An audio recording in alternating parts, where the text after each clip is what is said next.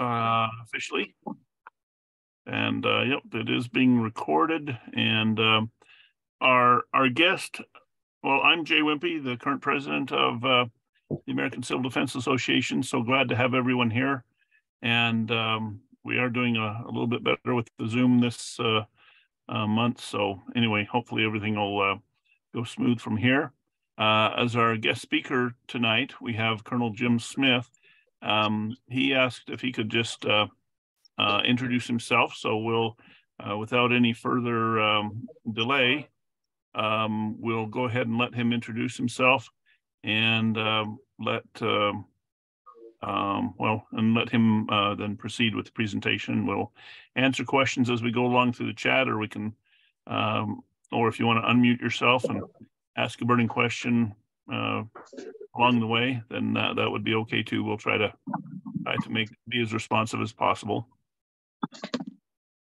Uh, so okay. let's go ahead. Uh, okay, thanks. Hey, good evening, everyone. Uh, unfortunately, in some aspects, I've been doing this more than 50 years in terms of emergency medicine.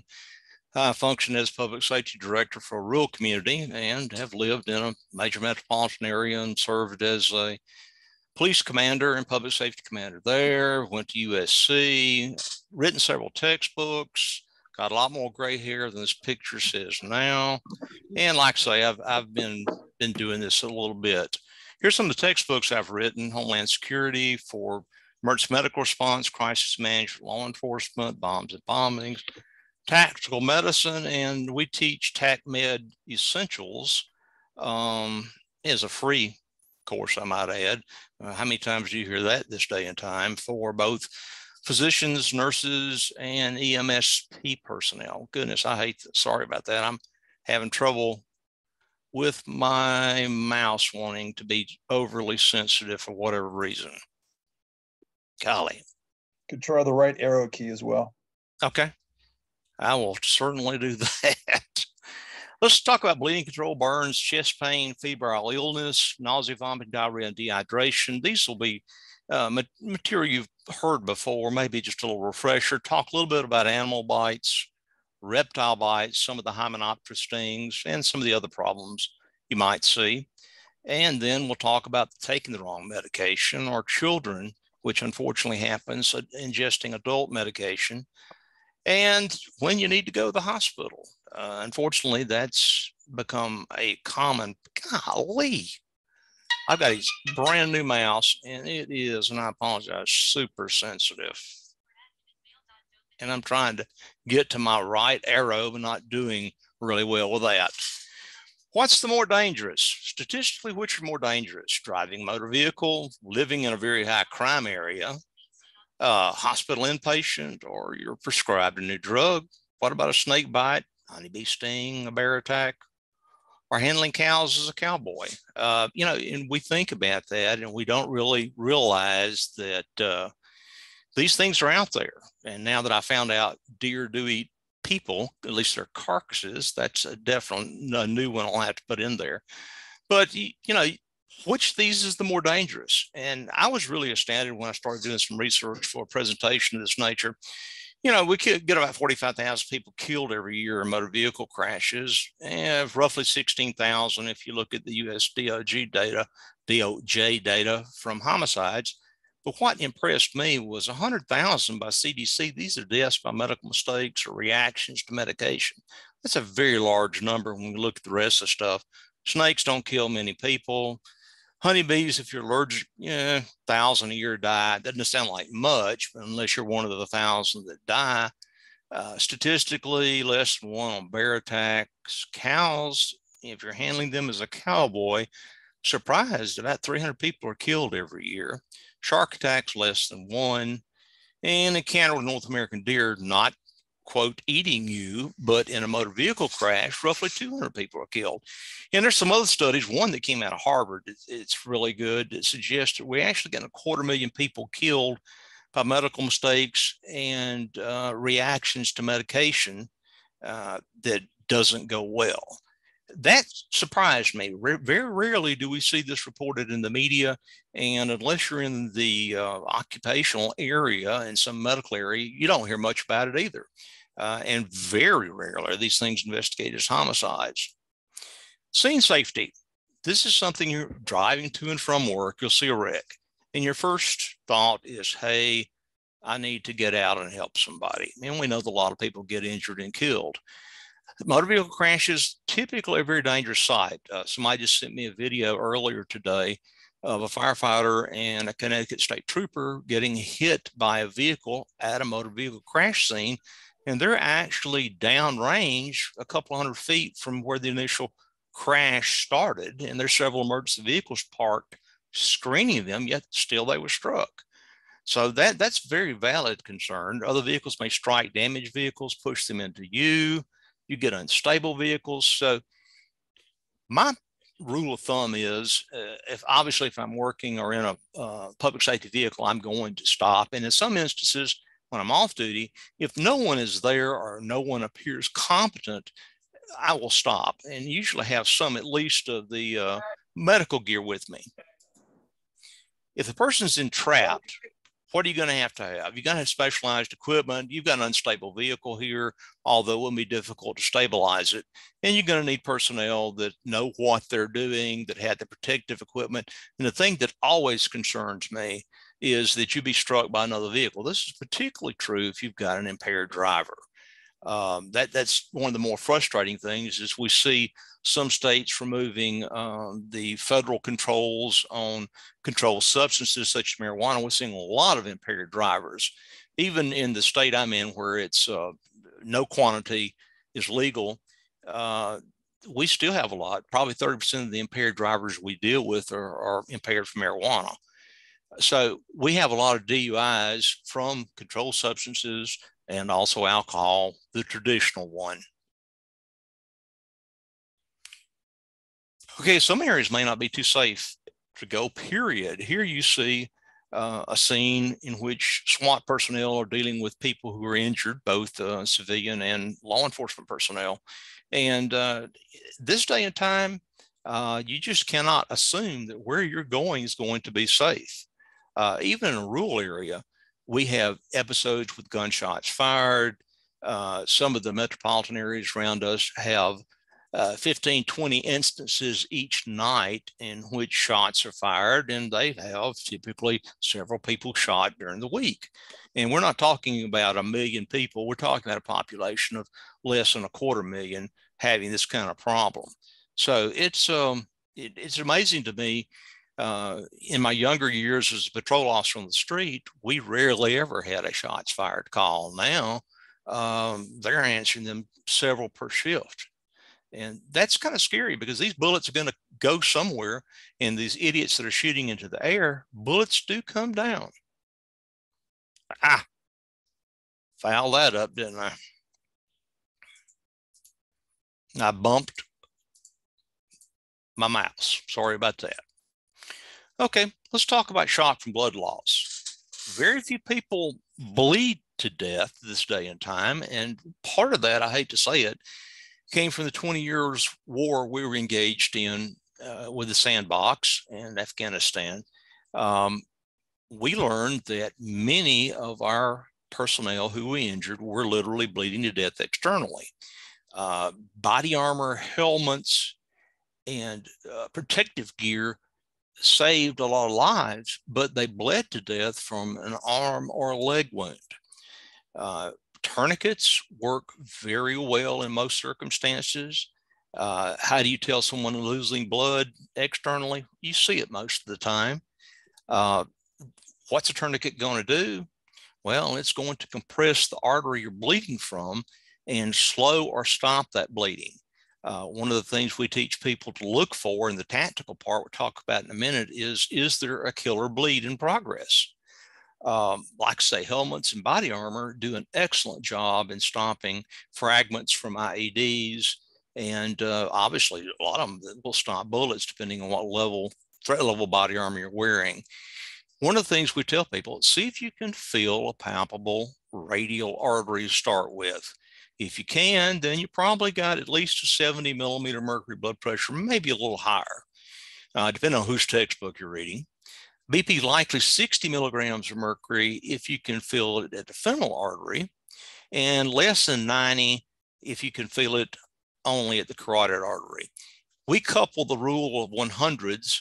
Uh, we say a BP less than 100 with a pulse over 100 suggests that there's shock from blood loss, the hypovolemic blood loss.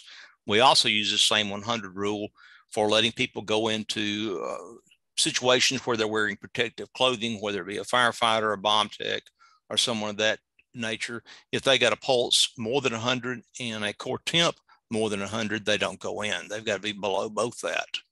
In a tactical setting where we're having things happen, particularly with gunfire, uh, we, we use the call a cab and go hot in tactical settings. That comes directly out of TACMED Essentials. You call out if there's a threat. You have to abolish the threat before you can do anything. And typically, if we take uh, gunfire or an IED detonates, then we wait about 30 seconds before we do anything.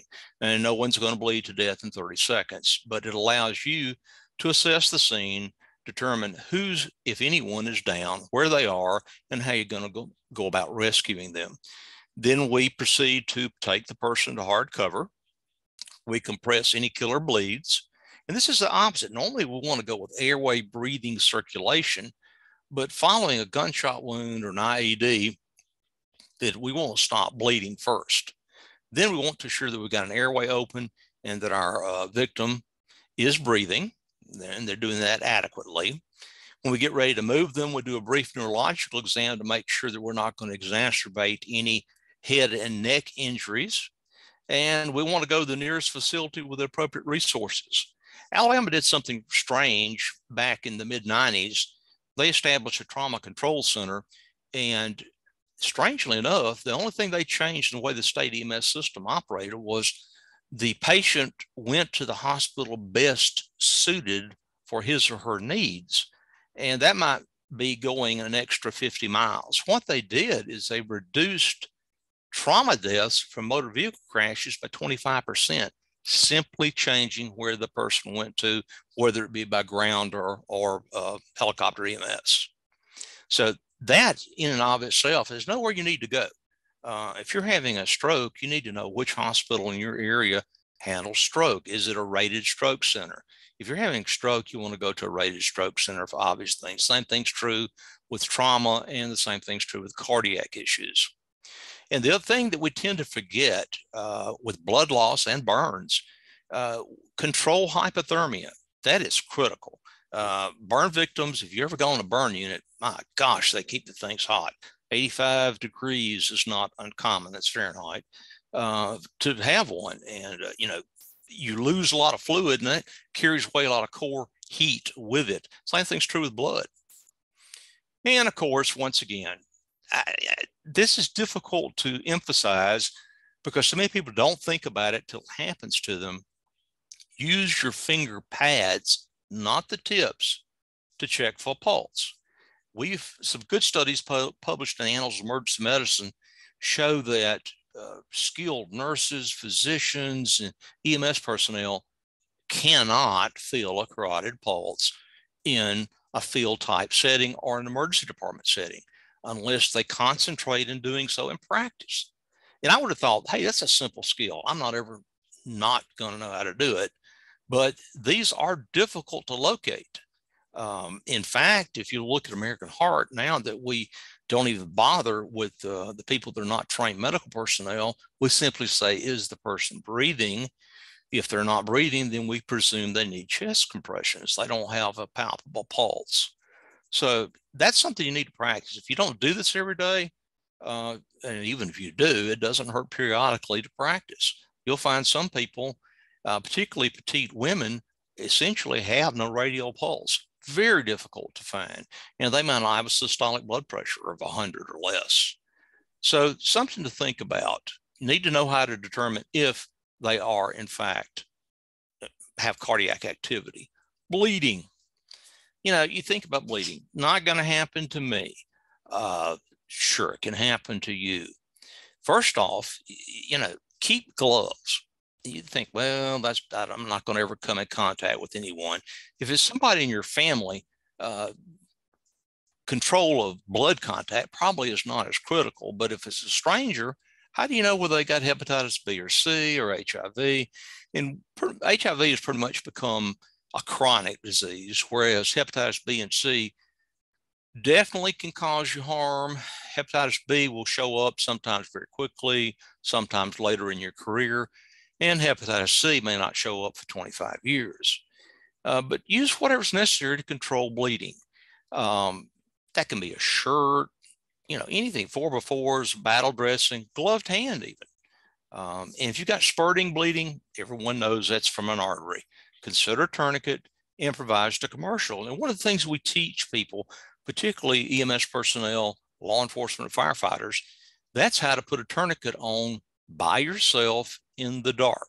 And you think, well, that's not ever going to be necessary. Obviously, these people have commercial tourniquets that are more easily assembled and used than one that we might improvise on the scene. Uh, gosh, if you're in the dark, you need to be able to do that. You need to be able to do it by feel, and you need to be able to do that one handed because you never know when you may only have one hand. Uh, those of you that in rural areas have a lot of farming, we encourage the farmers to carry a tourniquet with them. I cannot tell you the number of times that we have tractor overturns and we end up with somebody that almost bleeds to death before we can uh, get the bleeding stopped with a tourniquet. Or if they're entangled in farm machinery uh, and are cut, and, and, they can simply apply it themselves. And in many instances, if you're in a rural area, it's a long wait for EMS, and further, it may be a long wait till somebody finds you. Tourniquets are painful. They're going to hurt worse than the original wound. Uh, they hurt worse than the bullet wound. So you've got to leave them in place. People will ask you to take them off. Once they're applied, leave them in place. Wait till a physician or someone with some additional medical training says it has to come off. Think about this. Uh, one to two hours is what we tell people. There's there's very little uh, damage that's going to be done. Uh, but we put tourniquets on people. We're doing orthopedic surgery. Granted, they're much uh, wider and use a little bit lower force than the ones that we crank on with the windlass, uh, but they're on four to six hours. So you can leave it on for quite a while. Uh, like I say, best thing to do is to get a commercial one. They're cheap. Uh, you can find them $15, $20, sometimes even less. The same thing's true of battle dressings. There's a pile of those out there. Um, the Israeli and the OLAES, O A L E S, are two that are very popular and commonly used. Uh, and there you go, putting the tourniquet on. The commercial one's easy to do.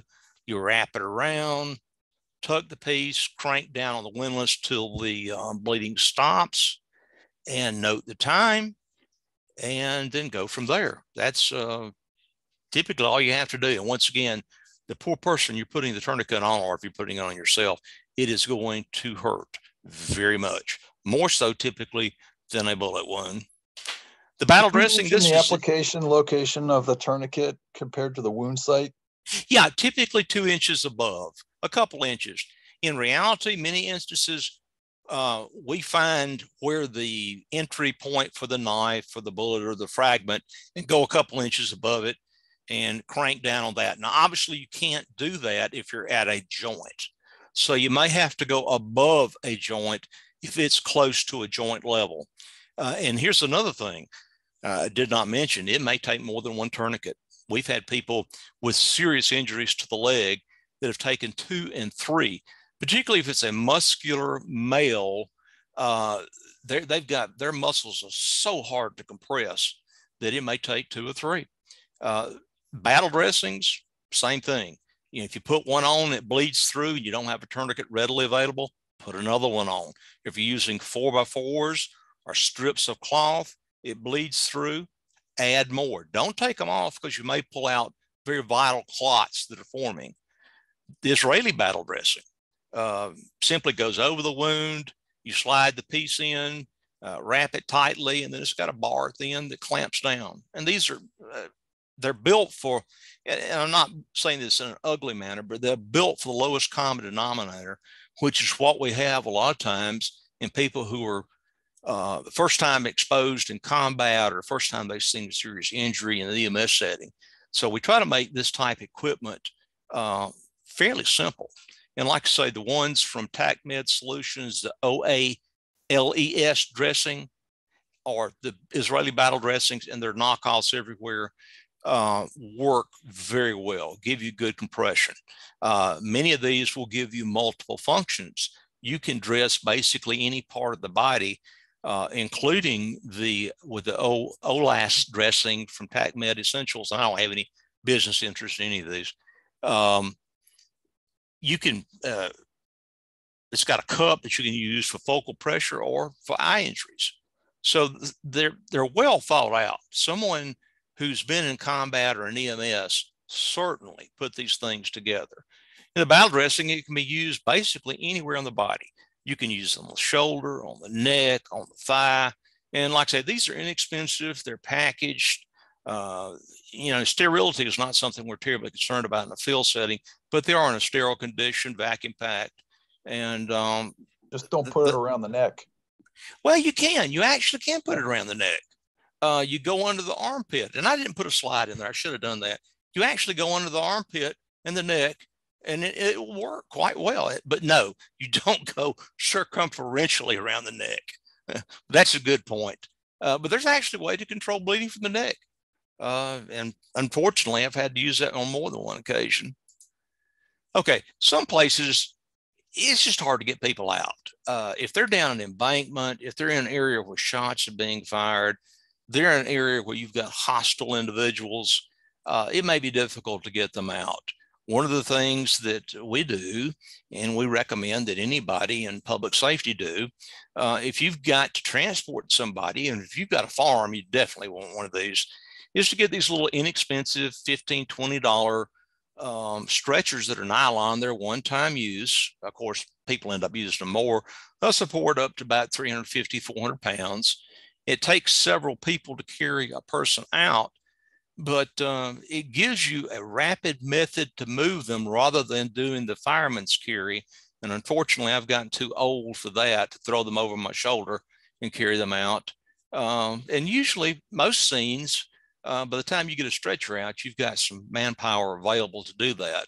And the, most of the stuff is very inexpensive. It's not like the old days where this material was not easily available and it was all very expensive. Even now, uh, I'm surprised as costs have come down, uh, particularly as we get a lot of surplus uh, material that's not going until the Ukraine started. It wasn't going overseas, and there was a lot of available at very inexpensive prices.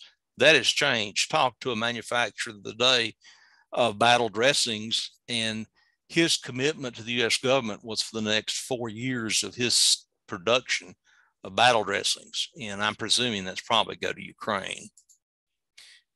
Fires. Well, we, you know, doesn't seem like a lot of people killed in fires, but in the 10, 11,000 people that are, depending on whose data you're reading, some say 9,000. Um, here's the problem burns consume a tremendous amount of medical resources. Um, I've read in some of the journals that over a ton of medical supplies will be used during the initial 30 day treatment period of a severely burned person. that's a tremendous amount of resources. What we're seeing, the deaths from fires typically are not thermal burns, but uh, thermal burns do occur, but for inhalation, uh, the cosmetic, goodness gracious, not cosmetics, the consumables that are present today in most homes' furniture have toxic materials that are produced when they burn. Uh, we see everything from cyanide, obviously carbon monoxide, and there's a dozen other toxic materials that are produced.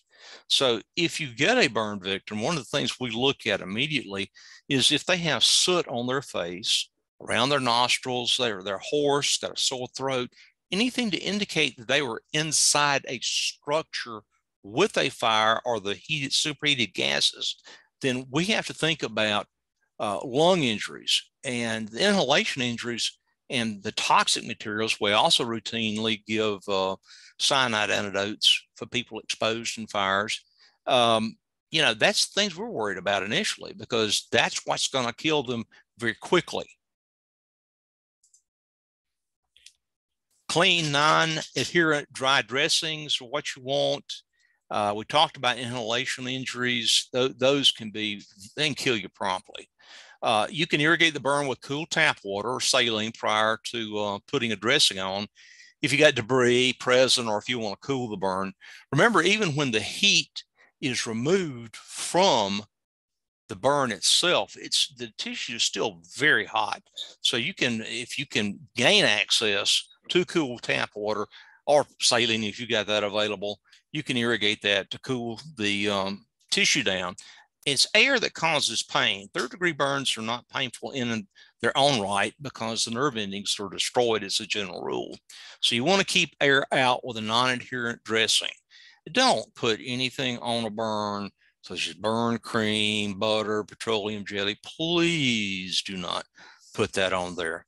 The burn surgeon is going to be very angry, typically with the EMS personnel that brings this individual in, thinking they may have applied it but it may convert, having to clean that stuff off, may convert a second degree partial thickness burn to a full thickness third degree burn.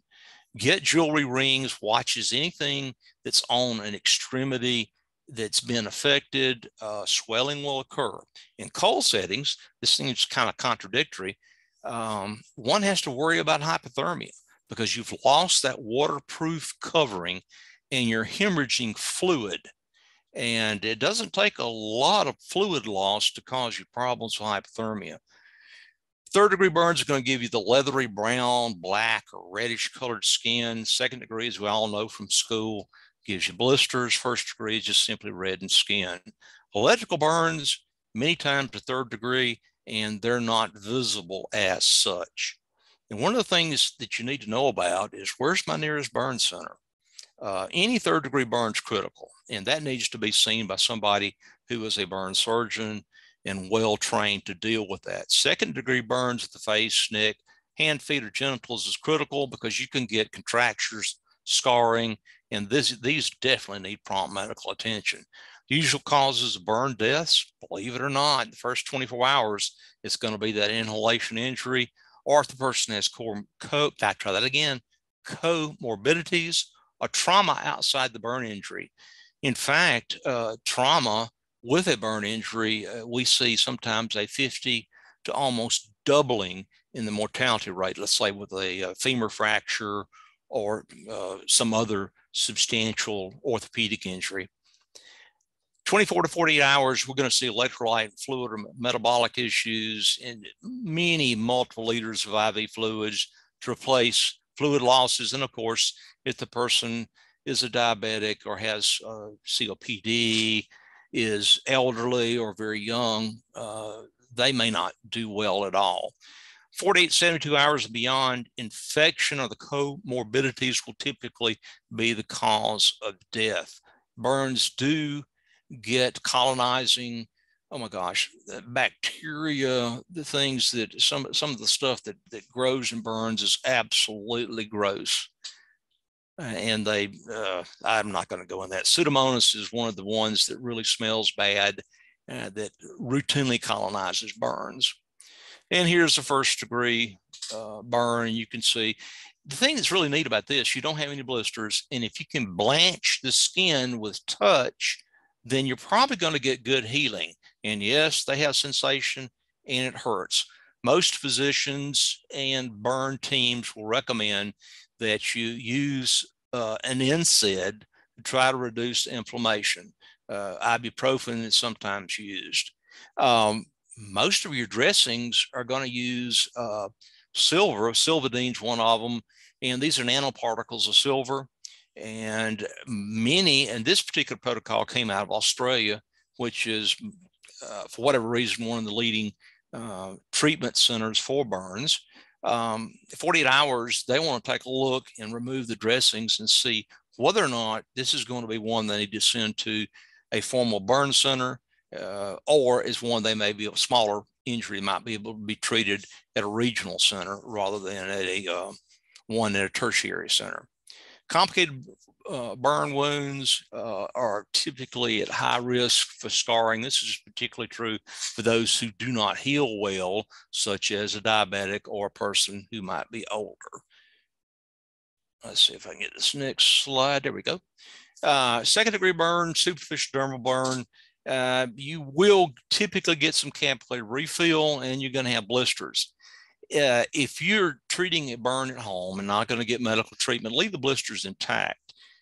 In the burn center or hospital setting, typically many burn surgeons like to do at about 48 hours removal, debriding of the actual blisters and take a look and determine whether or not they're going to have to send this off for additional treatment or whether they can treat it on site. Uh, you do get some scarring sometimes, and pigmentation changes is not unusual. And these things are very painful. Uh, remember, when you don't have skin covering, your nerve endings are exposed, and that stimulates them and produces a tremendous amount of pain. And that's why you see burn patients getting large quantities of opioids uh, in an attempt to control the pain. And then you get the third degree full thickness, eh, pretty nasty looking stuff here. Um, healing times greater than 21 days. Normally with a second degree, if it's not extensive and the person heals well, we're looking at two weeks and they're getting close to having normal skin covering.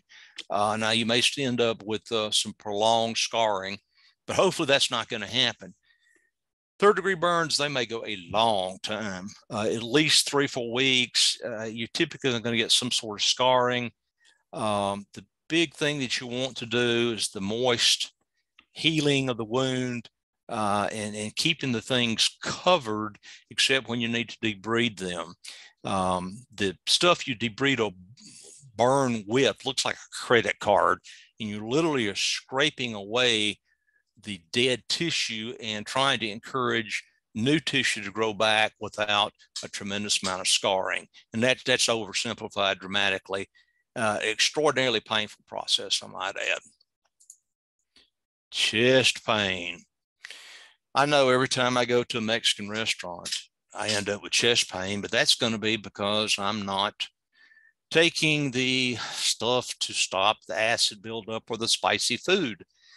But if you have unexpected chest pain lasting more than two minutes, and this is per American Heart, and it's unrelieved by movement, and is of a squeezing nature, radiating to a jaw and arm, and is in a person 30 or older, and that's what amazed me is we've now pushed that number. It used to be in 50, 60 range, uh, but now we've pushed it down to around 30 um, or older, or is in a person with a history or at risk for heart issues, you know, obese, uh, which fits many Americans today, high blood pressure, diabetes, previous cardiac problems, and they've got pericarditis, mitral valve prolapse, angina.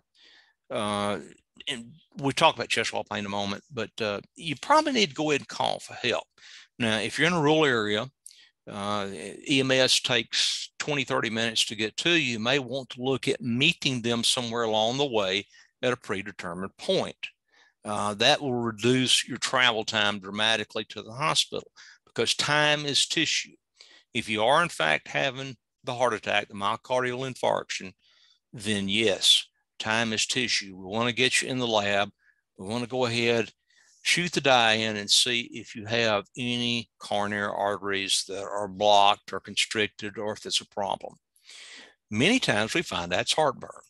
Um, heartburn, uh, if it's relieved by something you can drink or some of the, um, golly, went blank on that one. Some of the agents you take for heartburn, I'll leave it at that.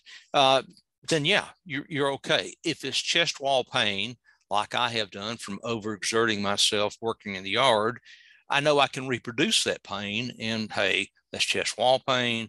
It's not cardiac related. Uh, if I can't rule out cardiac, then I'm going to go to the hospital because there's a very good probability that we're going to say, oh no, I've had this before. I'm not going to go. And if you miss it, it can be life ending. But what's worse, it can cause you to have significant heart muscle damage and you're disabled and you can no longer enjoy life. So I'm going to run the risk of a little bit of money spent at the hospital than I am missing an MI. Call for help. And once again, you know, don't drive yourself. What happens if you have a dysrhythmia and uh, become unconscious on the way? Uh, yeah, it's called a car crash. And we see people every year that do this. Uh, they'll be having a diabetic episode of low blood sugar. What do they do? Jump in the car to drive to the hospital.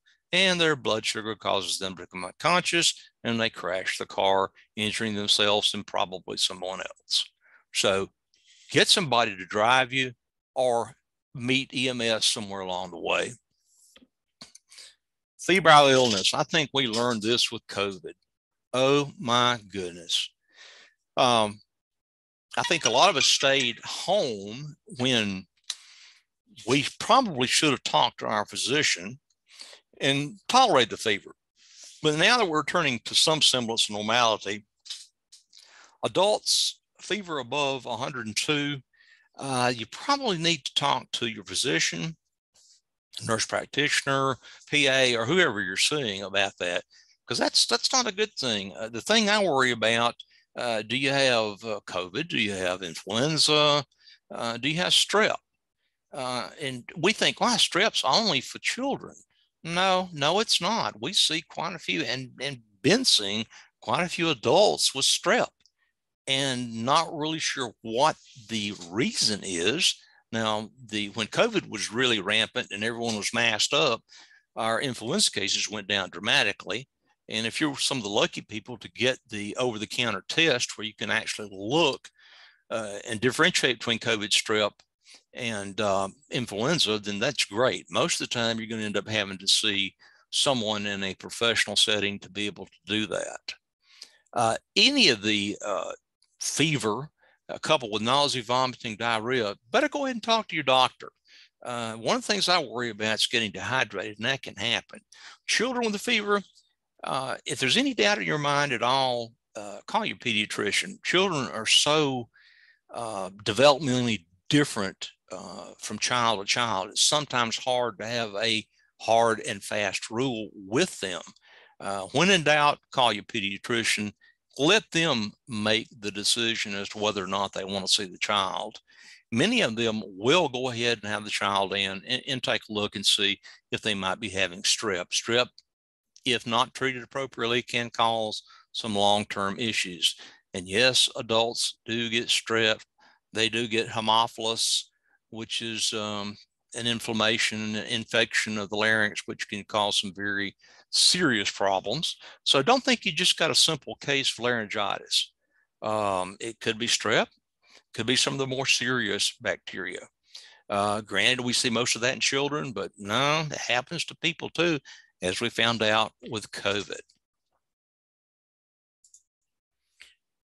Nausea, vomiting, diarrhea, and dehydration. You know, last thing you want to do is keep up with how many times you've vomited, how many times you've had to go to the bathroom, and how much is involved. However, if you can pull the back skin up on the dorsum of the hand and it stays tinted more than a couple of seconds, you're probably dehydrated. Next time you work in the yard or get a bicycle or walk or whatever you do in a warm temperature, and you think you're dehydrated, try that. You'll be surprised how many times you are. Um, children, particularly very young children, very susceptible to dehydration um, sometimes one or two episodes of diarrhea uh, or vomiting in, in a very young child, those that are less than a year can cause them to be dehydrated. And normally that what goes along with that, if they're uh, a neonate, if they're less than 30 days old, then they probably have a low blood sugar in addition to the dehydration. And that, that's a pretty serious event for a child. If you're prescribed an agent by your physician, such as ondansetron, you can, and hopefully something like that will control it. But once again, if you can pinch it up and it stays there more than a second or two, you're probably dehydrated. Many recommend Pedialyte for adults and children. Gatorade is not uh, because of the sugar content is not as recommended as it used to be um, and the uh, electrolyte balance in Pedialyte is a little bit better for children than adults, although quite a few adults I know use it in lieu of other items. Um, keep fluids in the person. I mean, you know, if you can't control nausea, vomiting, diarrhea, you're going to get into trouble. You're going to have to see a physician, go to the emergency room, a rapid care facility, something, because you're going to have to have IV fluids. And you want to try to prevent that if at all possible. The thing that I see is the guys that get out in the woods a long way and they start these episodes and by the time they can if they if they can even walk out they're pretty severely hydrated after a four or five hour trek back to their vehicle. So that's something to think about if you're going out away from immediate care. Stings and bites. You know i don't think anyone that goes out in the outdoors has not been stung by some sort of insect uh, whether it be uh, a bee, wasp, hornet, whatever. However, there's a lot of people that, and we're seeing quite a few people carrying EpiPens now, uh, and people with allergies to uh, food. We see people with corn and peanut allergies that are quite common. But bee stings uh, from any one of the Hymenoptera group uh, can be literally life ending. Uh, if the person is allergic, they need to be carrying, and I'm talking about people that are truly allergic that have at least two body systems involved. They've got edema, mouth, face, tongue, throat, uh, and they're wheezing and hoarse, and they've got involvement in the upper airway along with the lower airway. Uh, they definitely need an EpiPen. Now, remember, the problem you get into is this buys you about 15 to 20 minutes of time in some circumstances may be uh, needed again. In fact, most of the packaging now contains two of the EpiPens, and I'm using that as a generic term, although there was another vendor. I'm not sure they're still out there. Um, call EMS, and if response time is long, meet them somewhere because you're going to probably need more epinephrine. Uh, and this truly is a life threatening emergency if the person starts wheezing, facial swelling, and they've got the hives, nausea, vomiting, any two of those are enough to use an EpiPen. Um, and here's the key you'll be surprised how many people are actually allergic that you don't know about that you work with. Uh, we're constantly discovering employees that have these uh, allergies, food allergies, or insect allergies, and they don't tell anyone. And their EpiPen is at home, where it does absolutely no good. Jim, I have a question. Yeah, go ahead. About the EpiPen, if you don't have an EpiPen, can you use Benadryl? Will that do anything? Oh, yeah, absolutely. If you've got liquid Benadryl for children or Benadryl for adults and chew it up and swallow it, oh, absolutely. Uh, it hasn't been terribly long ago that I had an individual come to the um, public safety center with an allergic reaction uh, who did not have an EpiPen. We used epinephrine on board uh, one of the ambulances, but they had been smart enough to chew up um, Benadryl at home. And uh, of course, we followed it up with uh, IM Benadryl but uh, yes, that's that's a good move. Um, so you know, why would you chew it versus swallow it? Chewing it uh, actually disperses it more quickly. Liquids even preferred over chewing.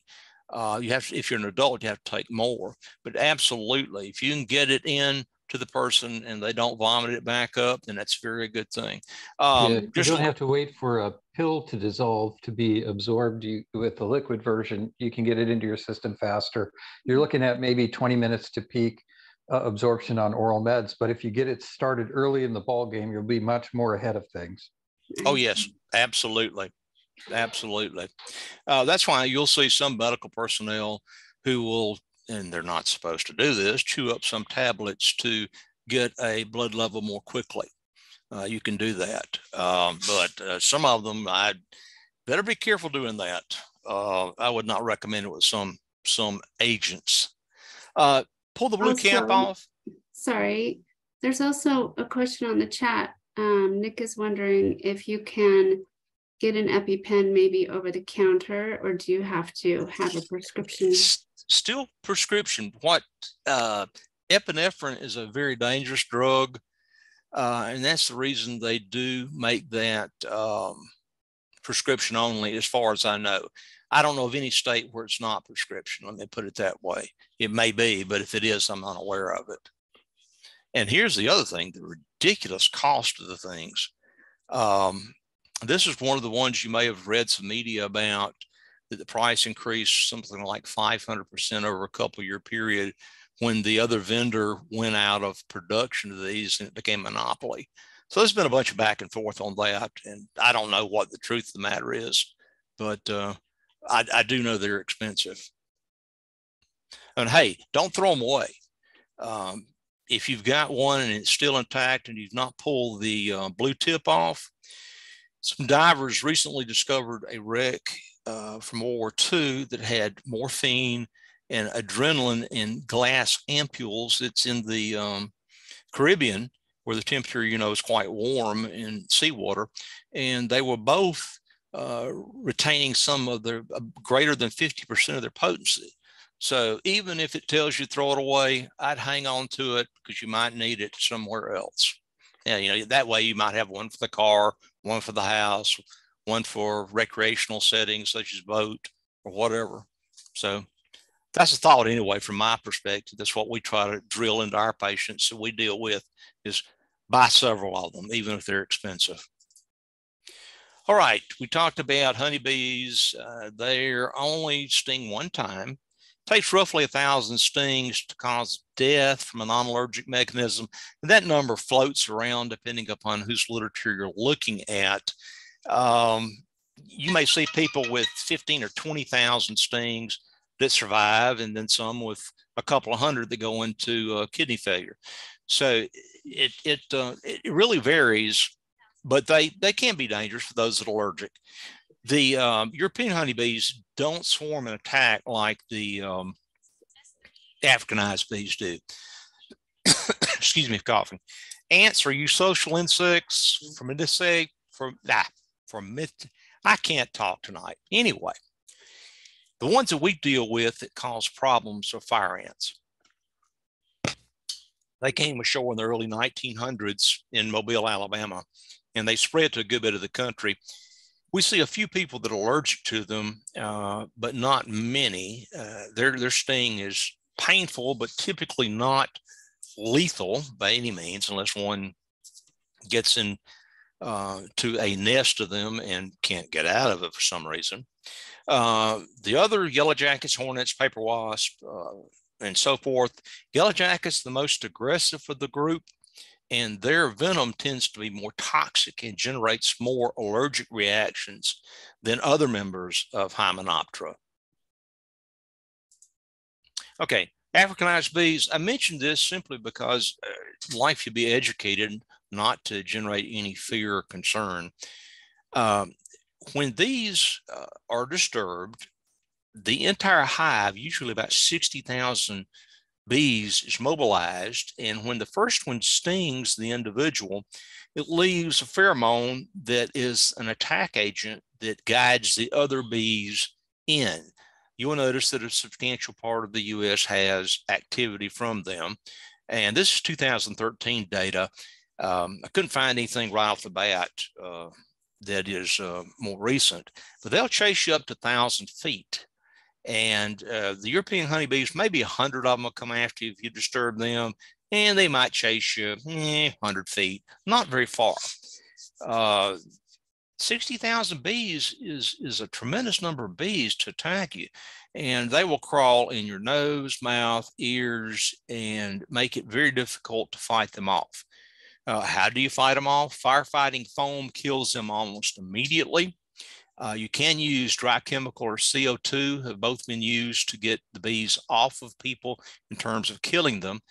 Uh, you'll spend a good bit of time if you're a responder uh, picking them out of the person's airway, nose, uh, getting them out of the ears and eyes. Uh, they're they're really aggressive and will, like I say, sting you and still be there. They don't they don't let go. They're difficult to deal with.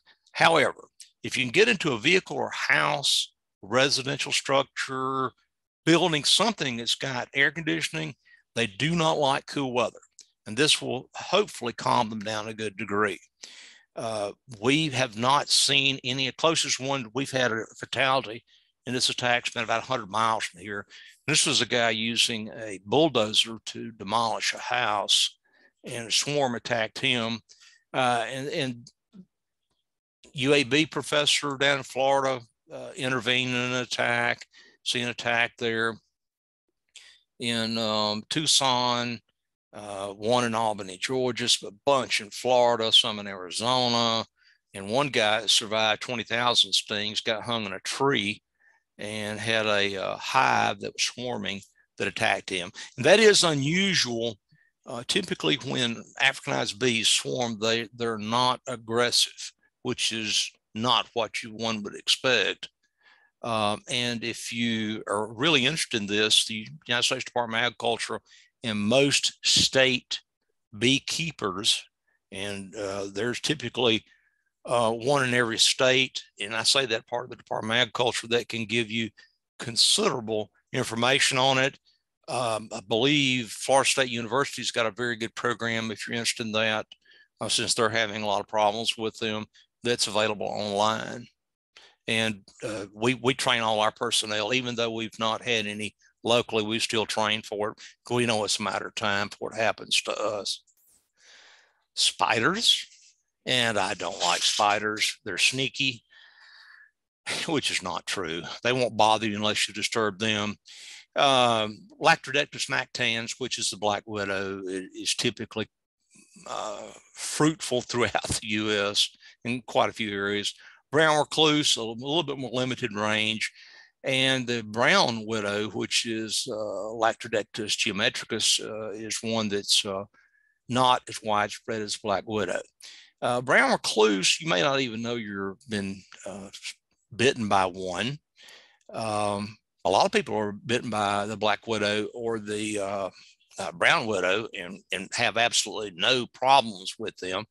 In fact, recent search of literature by one of the folks at uh, University of Alabama uh, Birmingham Medical School looking for spider fatalities, could not find one in the medical literature that is from uh, black widow or brown widow spider bite. The hobo spider is also called a wandering spider. They do have somewhat of a toxic uh, venom and they're unusual. Uh, they're more of a tropical type spider than one that you'll find in cooler climates. The thing that we see from uh, the black widow is abdominal spasms, the more common thing.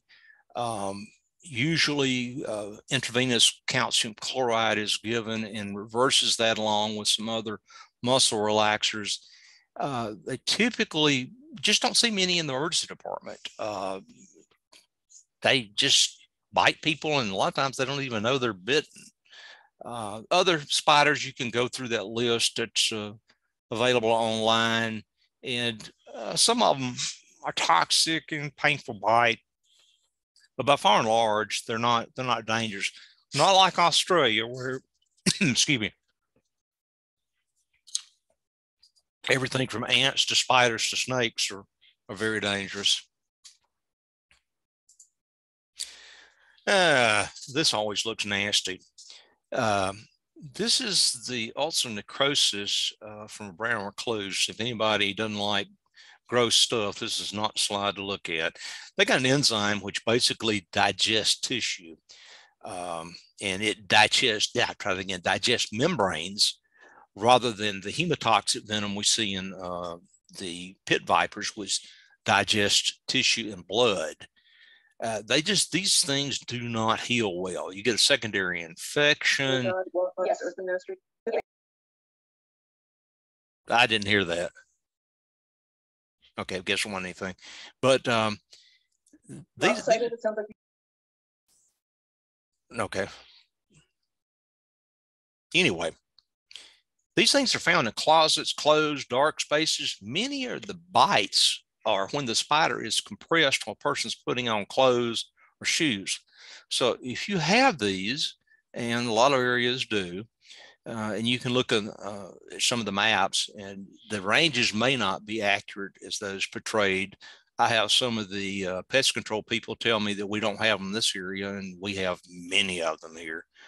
Um, but you might want to shake your clothes out if you have problems with them. The same thing's true if you have scorpions in your area. Good idea for shoes and clothing. You know, shake it out because last thing you want is a brown recluse to bite you. And supposedly these are bites. You can actually see the chelicera marks from the black widow, uh, the dual punctures from those if you look very closely in some cases.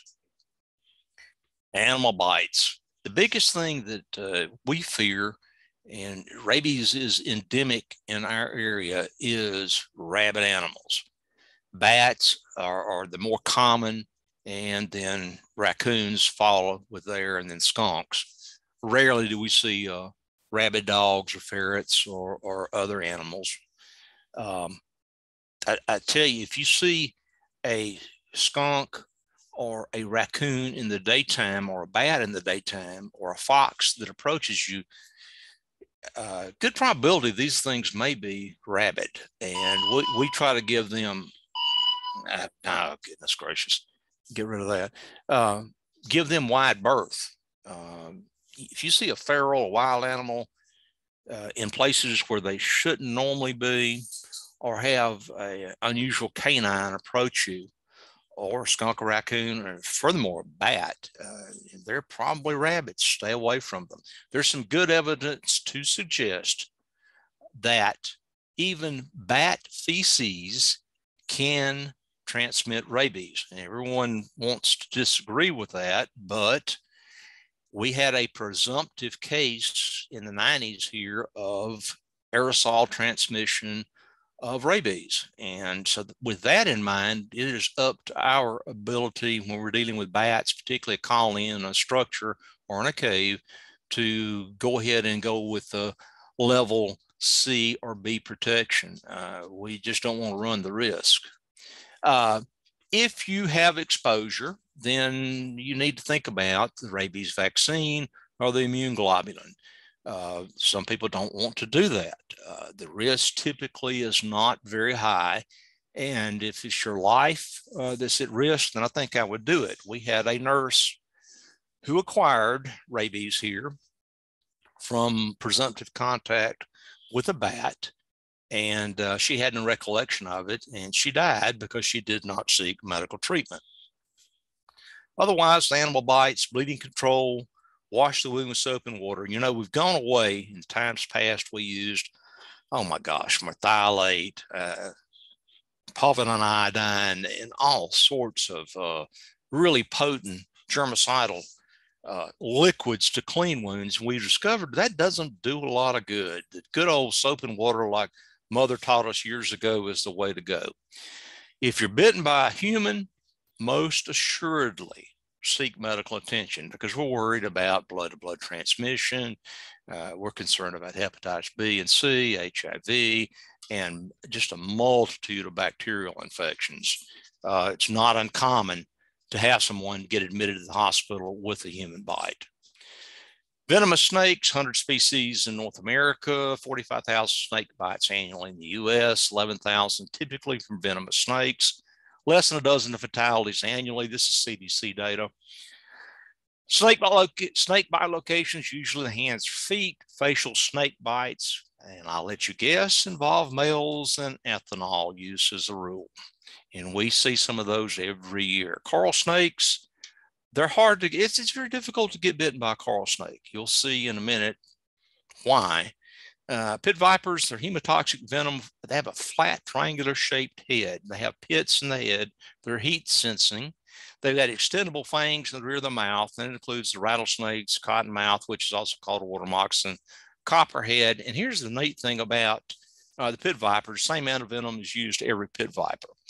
If you get hit by a snake and you begin to experience immediate pain and swelling, you have a venomous bite. Uh, about 30% uh, of snake bites are dry from pit vipers. In other words, very little, if any, venom is injected. You're not going to get immediate pain and swelling. Although I would suggest you go ahead with a follow up on that and let somebody look at that, get your tetanus and they may even consider antibiotic treatment. Last time I looked, um, a week or two ago, antivenom's $8,000 a vial, and it's not uncommon to use eight, 10 vials in uh, rattlesnake envenomation. And uh, untreated, good likelihood you'll lose the limb, possibly your life. Copperheads, copper colored, note that flat triangular head. They're not usually not lethal, do need medical attention. Um, and uh, they've got a very broad range. Typically, you will see them around water, swamps, creeks, things of that nature.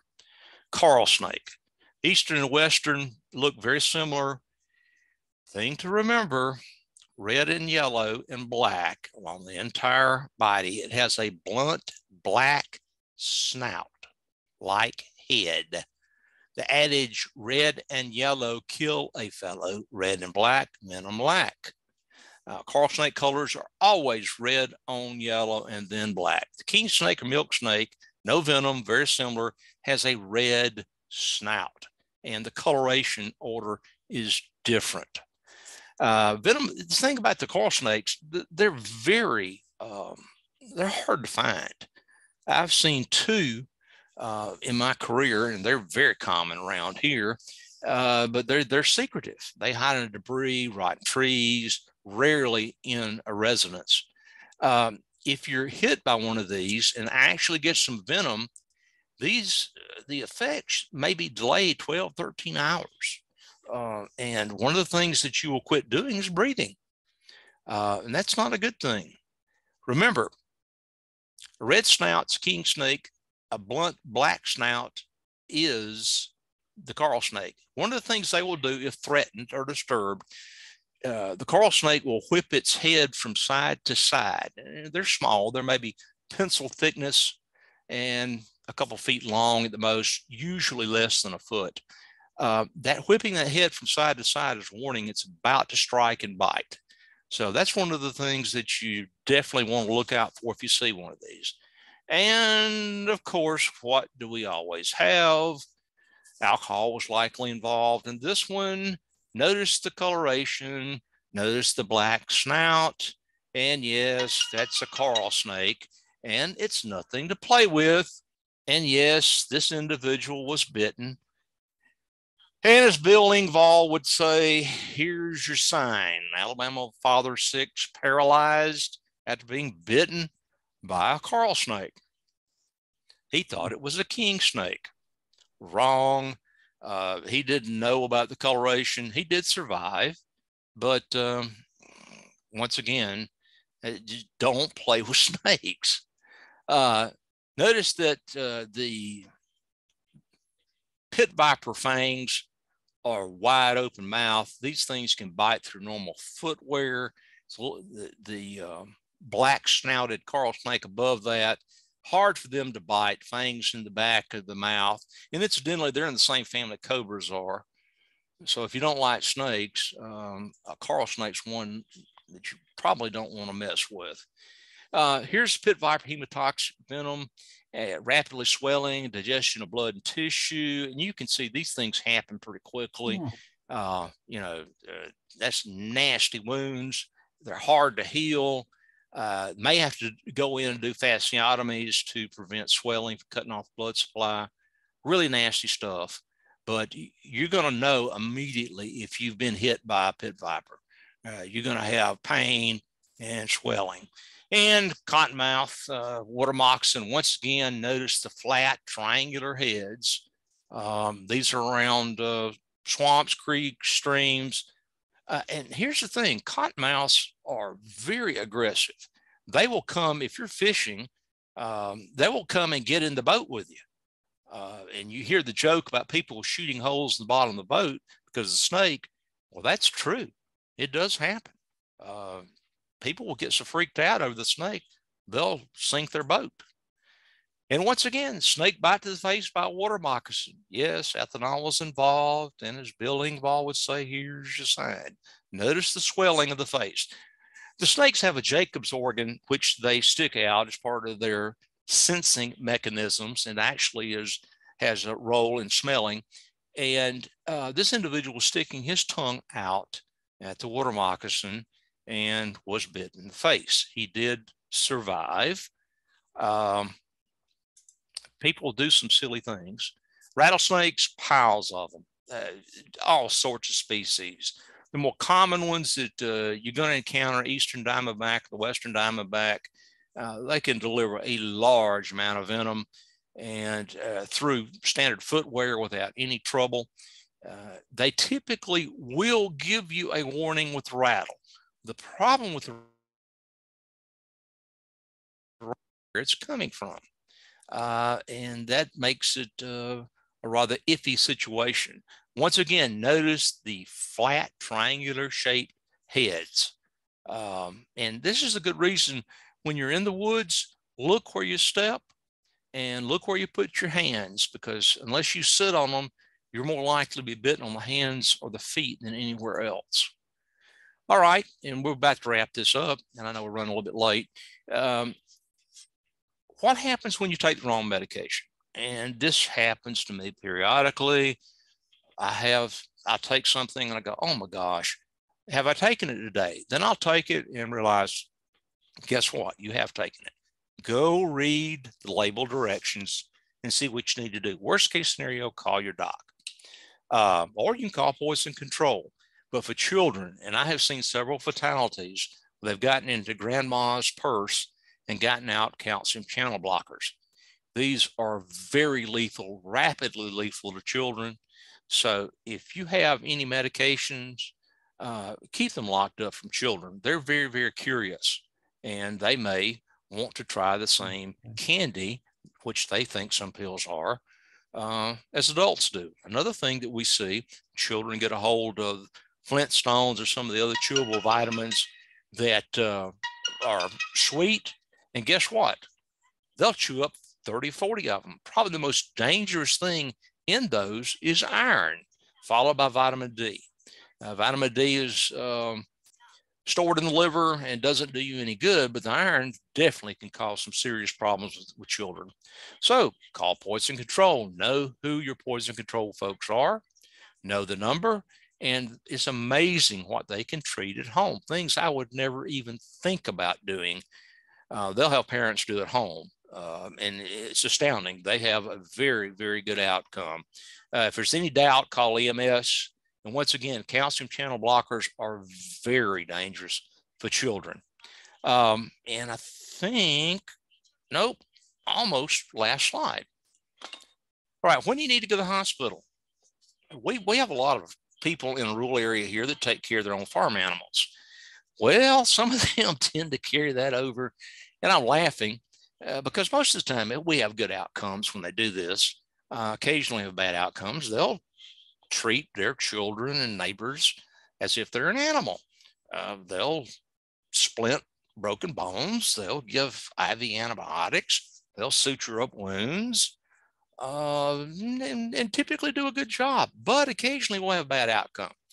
Uh, when that happens, uh, unfortunately, law enforcement may get involved. It's called practicing medicine without a license. And here's the other thing that I see the medications that are used on animals don't have the strict quality controls in many instances that we do with human medications. So I, I don't want to take uh, an antibiotic designed for an animal uh, when I want a human antibiotic if I need that. And we've had folks have allergic reactions. Um, so anyway, once once again, I want to adults with a sustained fever, 102 Fahrenheit or higher, you need to talk to your doctor. And any severe pain needs to be assessed by a physician. I have seen people try to tough it out with kidney stones. That's not going to work very well. You need to go see somebody about that. In primary care, uh, you may be one of the people that has a good bit of money and have a concierge physician that you can call 24 7. Uh, and that's great if you do, because he or she can tell you exactly what you need to do, can send you medicine. Otherwise, we go to primary care. If it's something where our primary care is closed or we need a little more urgency, then we'll go to an urgent care.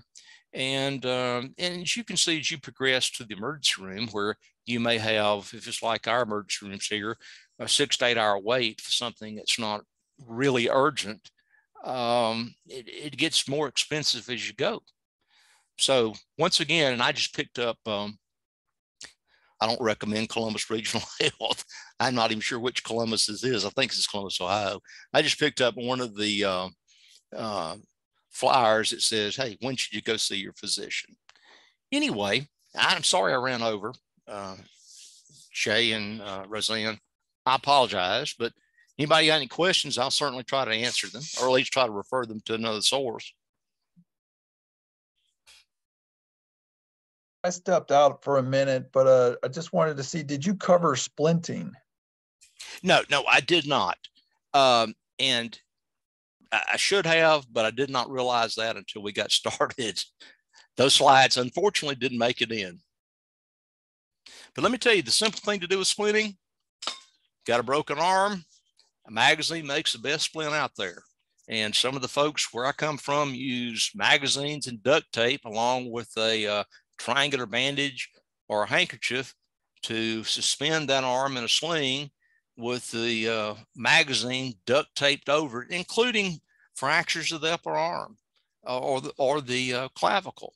Uh, I've seen it work there. If it's a fracture typically of the leg, they're going to call for EMS. And there's when you get into trouble. If you have to move somebody rough terrain, you can always put uh, a blanket between their legs and tie the legs together with, and, and, once again, I hate to say it, but duct tape gets commonly used for that purpose. Uh, and you can splint the leg to the other leg. And let me tell you something a distal fib, tib fib fracture, distal third, around a little bit above the ankle, extraordinarily painful. Most people are not going to let you move that very much. And if you've got rough terrain to go over, they're not going to be happy unless you can get them some morphine or fentanyl um, you know, to control the pain while you move them. Great. Thanks, Jim. Yes, sir.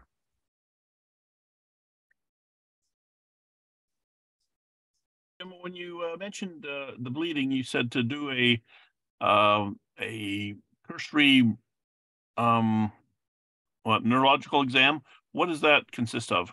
Typically, we ask the people, "Hey, do you know where you are? What is today's date? Can you wiggle your fingers? Can you wiggle your toes?" And, and we try to see if they can feel their fingers and toes. If they are, then we're going to expediently move them um, usually on a spine board or a rigid stretcher to uh, wherever we need to put them in an ambulance or a helicopter. We're not going we're not going to do a full blown neurological exam at that point.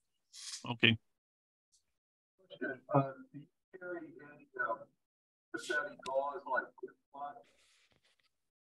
Okay, yeah, QuikClot.